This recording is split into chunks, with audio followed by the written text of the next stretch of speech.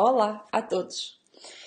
A história de hoje, a história do sábado com chá, foi inspirada por este livro.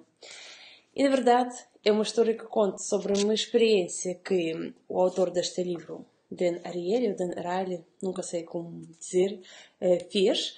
E também, hum, eh, se por alguma razão, se por acaso está a fazer compras eh, ao sábado ou ao domingo, um, ouça esta história até o fim porque explica muito bem como nós fazemos a escolha. E muitas vezes, realmente, nada de forma racional. Então, o que aconteceu? Uh, imagine, imagine dois tipos de chocolates. Um chocolate, uh, nesta experiência, foi o Lindt. Uh, Lindt é um chocolate muito bom, um bocadinho sofisticado.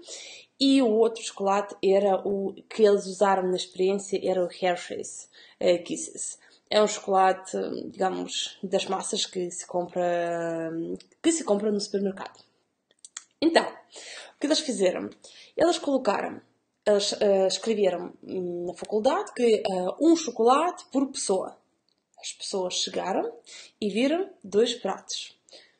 Chocolate lindo, chocolate Hershey's Kisses. Chocolate lindo custou 25 cêntimos, que já à partida custou mais, muito menos, a metade do preço do que se eles fossem comprar uh, no supermercado. E o chocolate Hershey's, 1 um cêntimo. Qual foi a escolha das pessoas?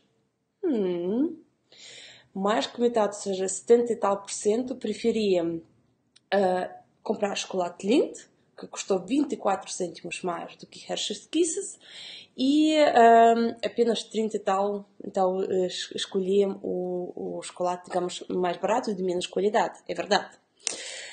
Um, ok, o que eles fizeram a seguir? Eles reduziram o preço de cada chocolate por um cêntimo. Significa que o Lindt, um bom chocolate, passou a custar apenas 24 cêntimos e o outro passou a custar zero. Gratuito. Free. Desta vez, quando as pessoas foram convidadas a escolher um chocolate, qual foi a escolha? Hum, surpreende.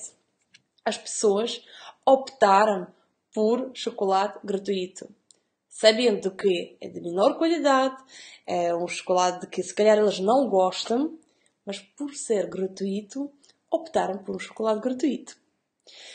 A, teoria da economia um, clássica diz que, já que a diferença no preço entre um e outro chocolate é a mesma, então o resultado vai ser o mesmo. Mas não é, porque esta teoria não tem em conta tudo o que vem gratuito. Depois eles pensaram, hum, mas se calhar quando é gratuito 24 cêntimos as pessoas não queriam tirar moedas, preocupar-se com isto.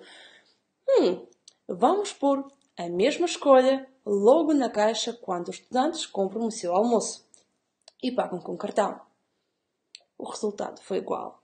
De 25 cêntimos para 1 cêntimo, as pessoas preferiam chocolate 20. Uh, ah, quando o preço for reduzido de 24 para gratuito, a maioria das pessoas preferia algo gratuito. Qual o perigo disto? É porque muitas vezes nós caímos neste gratuito e compramos algo de que gostamos menos, compramos algo de menor qualidade ou às vezes ficamos com algo de que não precisamos. Por isso, se hoje uh, ou amanhã estiver a fazer compras uh, no supermercado e depois também, pense bem como é que vai fazer a sua escolha. E se vier, se vier que alguma coisa uh, é gratuita, pense bem se realmente precisa desta oferta gratuita e se não está a perder na qualidade daquilo que está a comprar. Bom chá, boas compras no supermercado e tenha cuidado com a forma como faz as suas escolhas.